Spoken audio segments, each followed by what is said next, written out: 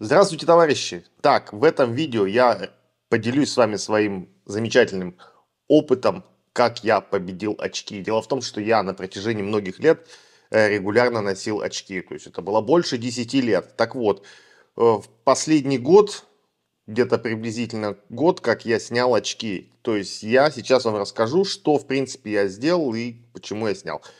У меня всегда были, во-первых, сухие глаза, во-вторых, у меня была дурная привычка постоянно их тереть руками.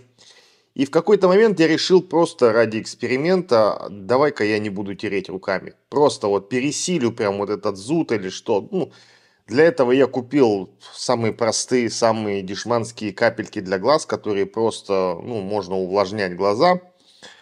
И все. То есть, как только появлялся какой-то небольшой зуд, я капельками раз его, и раздражение спадало, и все. И спустя какое-то время вот эта привычка тереть глаза, она просто ушла. То есть сейчас я туда вообще не лазю. И вот с тех пор, как я начал этим заниматься, практиковать не терение глаз, так скажем, я заметил улучшение зрения. Плюс еще один фактор, который тоже очень сильно влияет, это потребление сахара сладкого. То есть я не сказать, что был всегда там сладкоежка, нет, но я заметил такую корреляцию у меня, по крайней мере, как только я ел что-то сладкое, то у меня падало зрение. То есть я прям чувствовал, что мне в очках было комфортнее. То есть если я какое-то время не ел сладкого, то мне очки как бы вот не нужны были. Но опять же, говорю, у меня это все как в совокупности. Что конкретно повлияло, или может быть оно как вот комплексно повлияло на мое зрение, сказать сложно. Но сам факт работы, то, что это работает.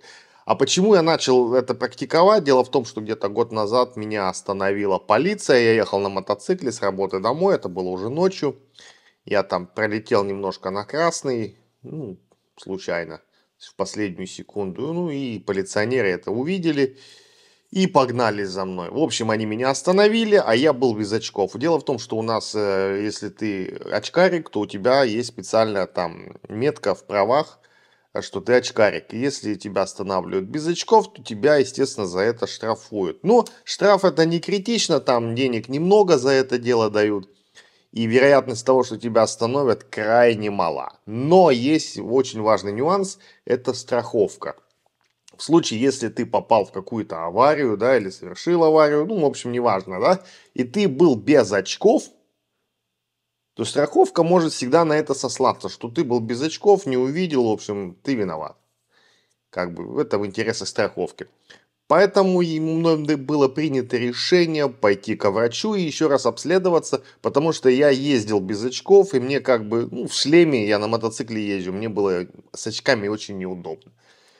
Я думаю, попробую-ка я исправ эту меточку убрать. Пришел к врачу к специальному, провел специальное обследование, э, именно для водительского удостоверения, там они меня конкретно обследовали все, и в итоге подтвердили, что мне очки не нужны. Поэтому я как бы официально теперь являюсь не очкариком.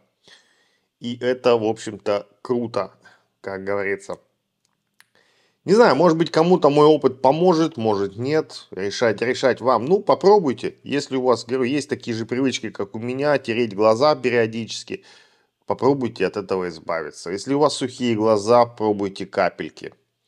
И жрите поменьше сладкого. Это прям вообще маст. Это вот прям тема. Ну, об этом в другой раз. Ладно, все. До свидания. Не буду отвлекать ваше время. Адьос.